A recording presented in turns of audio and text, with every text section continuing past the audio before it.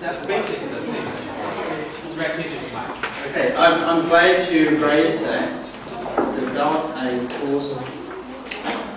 Okay. Um, page 88, uh, that's a good point. Page 88 has the example from our electronic company in Wuhan, China. And it says step one, develop a causal business model. Okay, so maybe the terminology is confusing, and what we're trying to do here is trying, we're trying to develop a picture of the causal business model. Okay, all right. So we're trying to, we're trying, we're trying a picture. Okay, a snapshot. Yes, something like that. Actually, I, I think this uh, should be visualized because when you ever take a course, uh, the last course is entrepreneur on entrepreneurship, and uh, the professor mentioned about the business model concept. And the business model usually maybe it's not utilize that uh, uh, details, but at least you have a concept of the business model. And then you leverage this concept to articulate into more specific strategies Okay. to, business. But uh, the, on page 88, really, they are actually fundamentally the. Okay. Okay. I think uh, in entrepreneurship, two things. Number one, yeah, I might be mixing up the terminology with your entrepreneurship. Okay, so you've got a, a very good point there. The point was made that in entrepreneurship you were taught that the business model is sort of like a concept. Okay, whereas I'm talking about it in terms of the intangible or the invisible. In some ways, a concept is intangible anyway. It's a theory. It's a theory for how the business is going to make money. Okay. You're right. And so on page 88, um, that title is more develop a picture of the business. Rather than you're going to know exactly what the business model is. Try to get close. Oh, the second point, in entrepreneurship, you're dealing with small companies. Yeah, and at the startup stage, it's much easier to get a very good picture of the business model, like I said earlier. All right, because you focus on one customer, one product, and you really, and how you're going to execute it. You'll be not dealing with a large company. But very good point, very good point. Yes.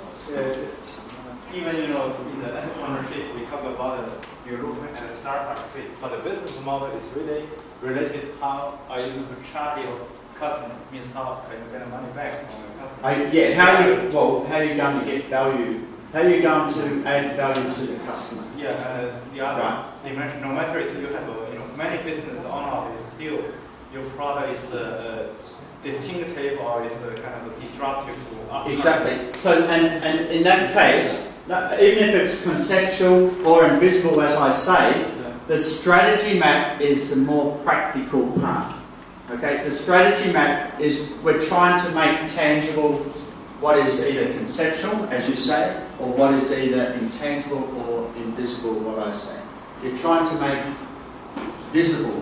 But uh, what I can see, you know, you, you got to have a business model first on top, then you you, you try to how can you maximize the Okay. profit, you know, Alright. uh, return on investment, Okay. Yeah, you, every company, yeah, but it, when a company gets so large, the business model can be fragmented. Yes. Okay? How a company extracts value from customers depends from segment to segment to segment. Okay? It depends on lots of things. Yeah. Okay? It, I, I take your point. What I'm saying is the strategy map is we're trying to visualize what, what the model should be or what, how we're going to create value. We're trying to visualize. When you can visualize, then you're in a better position to find out what measurements are relevant or not. So talking about measurement, which is here, measurement attributes. That's a very good point because that leads me into chapter uh, 10, which I want to spend about oh, no more half an hour, 25 minutes on. Okay, you, a question about measurement? I think we need to move on, unless it's very, is it different from the other questions? Yes, yes, my question is asked here,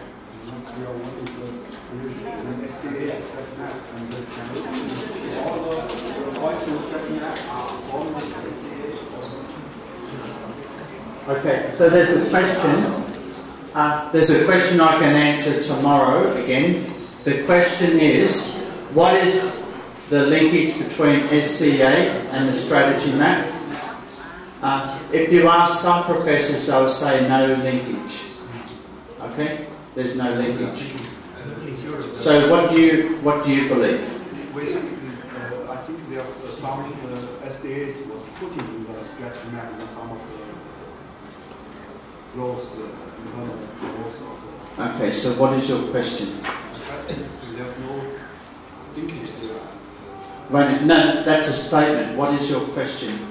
The question is,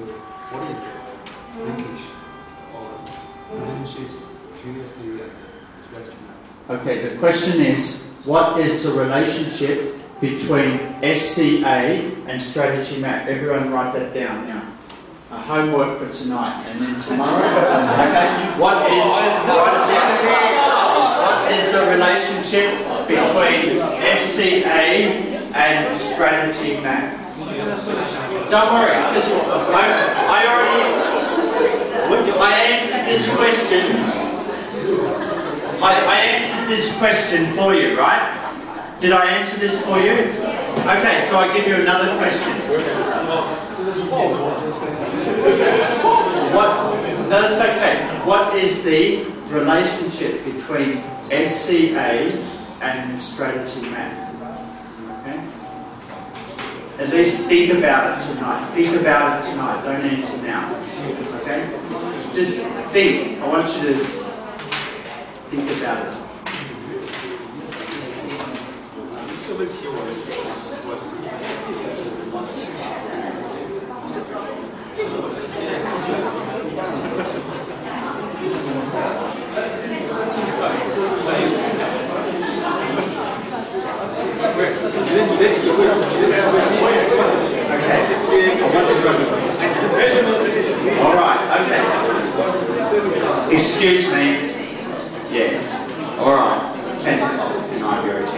please?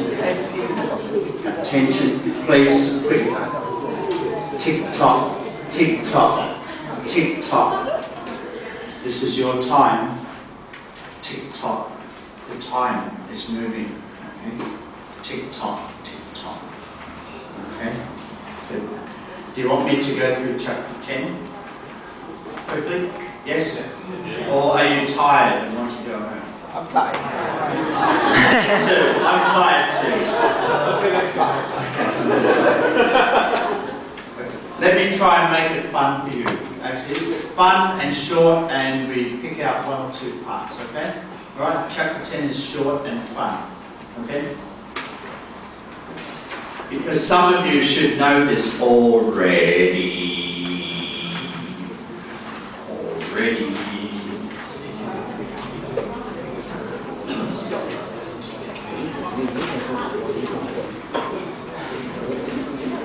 Put your hand up if you have this slide.